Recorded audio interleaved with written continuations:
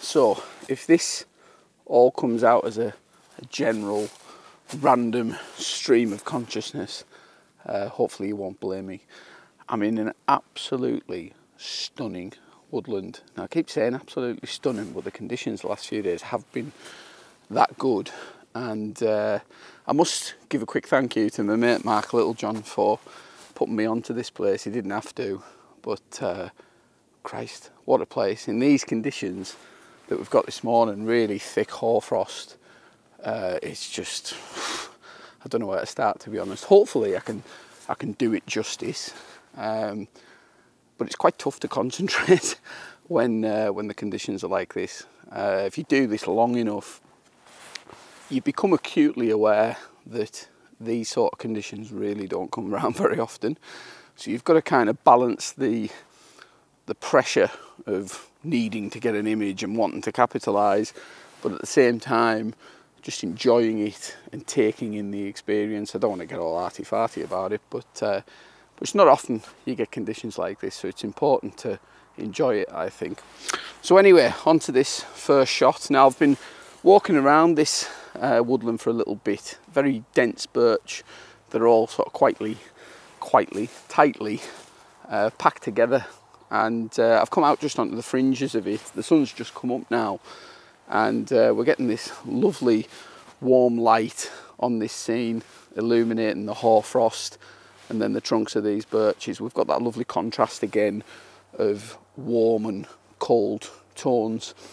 Uh, so the shot itself, I'm at about, let me just check, um, about 70 millimeter. I'm quite close in here and mainly just trying to make sure that the blue sky's out of the frame and um, just concentrating on the trunks of the trees here and then these lovely bits of fern in the foreground that have partially frozen and then the other bits that are sort of melting now that are catching the light uh, I'm going to take a few different variations of this uh, just to cover all my bases really because uh, you know, you'd hate to get home in these conditions and having mucked one up. Um, but yeah, this is absolutely uh, unbelievable conditions. Uh, I'm probably going to spend most of the day here, I think, because uh, you know I'd be a fool to not do in these conditions. So anyway, let's have a look at this one.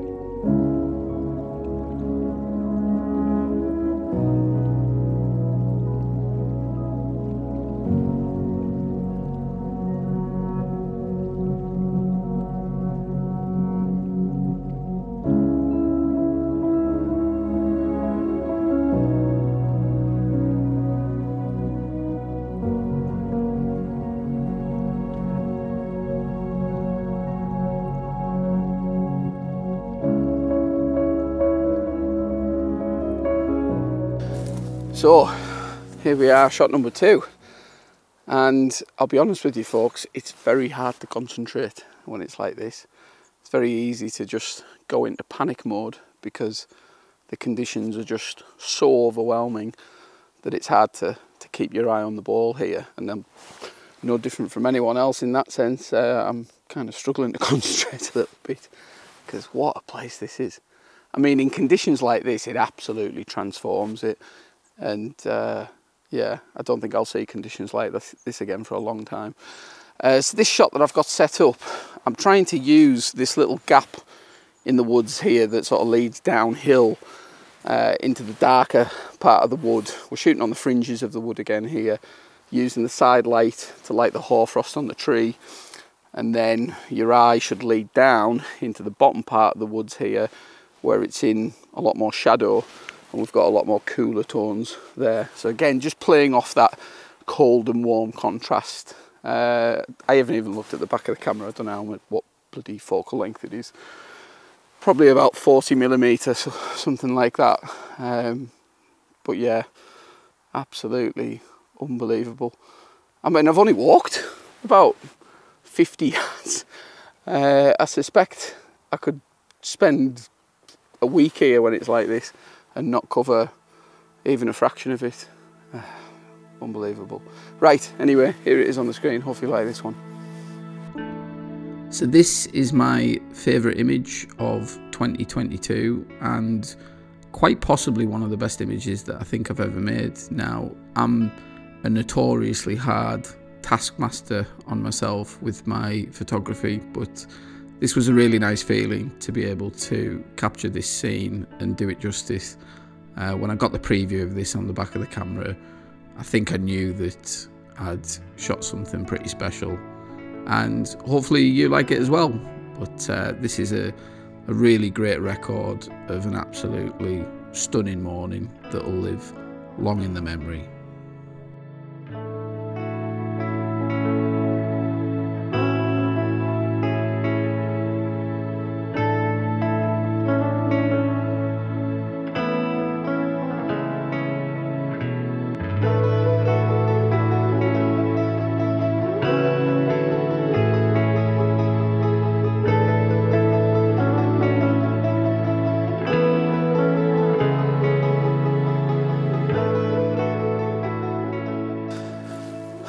Wow, wow.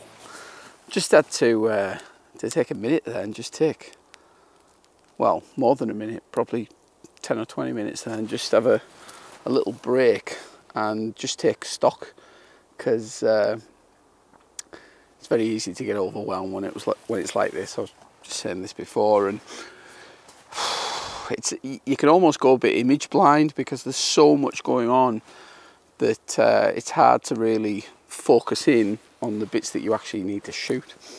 And uh, just been struggling with that a little bit for the last five, ten minutes, uh, not quite knowing where to be in here because obviously I've not been in here before, so I'm doing all of this very much uh, on the hoof a little bit. Uh, but I have picked out another shot. Um, just one sec, I'll just uh, walk you over here. I'm just conscious because the sun's really bright here, and uh, obviously I don't want to dazzle you.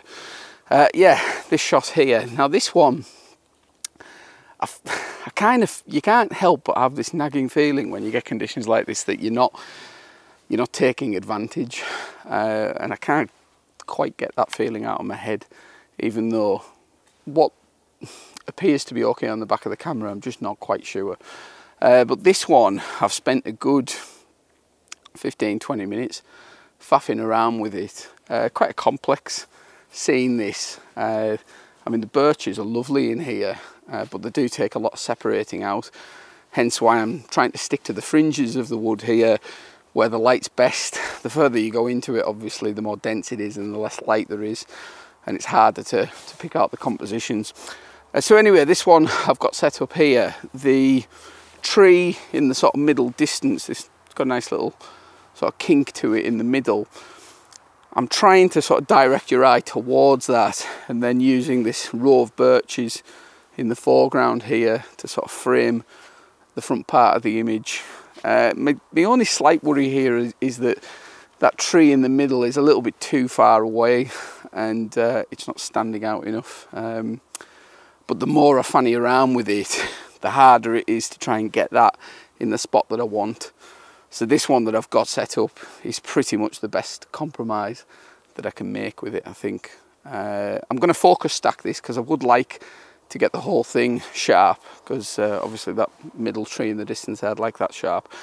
And uh, the focal length I'm shooting at um, sort of running into depth of field issues a little bit. So uh, I'm going to focus stack this. Uh, I've got the polarizer on actually just to sort of deepen the colours on these ferns here. We're getting lovely side light at the moment and uh, obviously in this scenario with the light source 90 degrees to me this is when a polarizer works best. So yeah.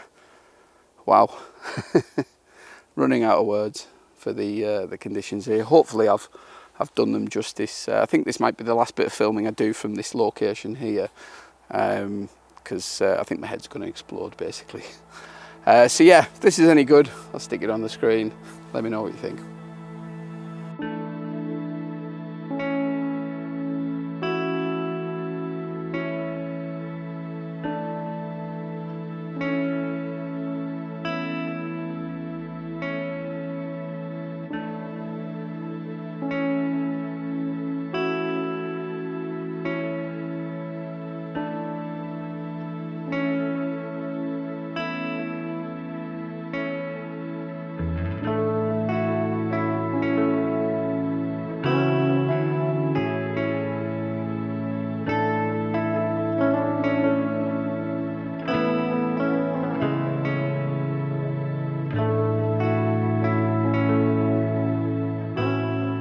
Right folks, I'm to wrap this one up here because I think my brain is going to explode.